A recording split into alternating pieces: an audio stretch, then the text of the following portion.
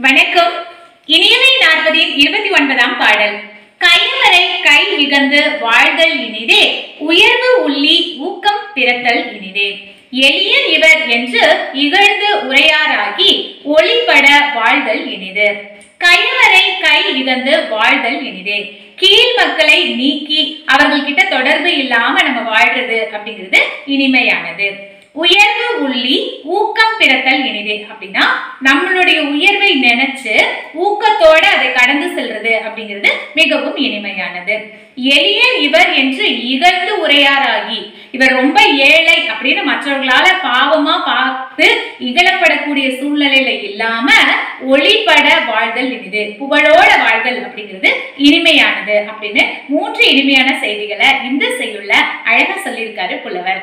கயவரை கை இகந்து வாழ்தல் இனிதே உயர்வு உள்ளி ஊக்கம் பிறத்தல் இனிதே.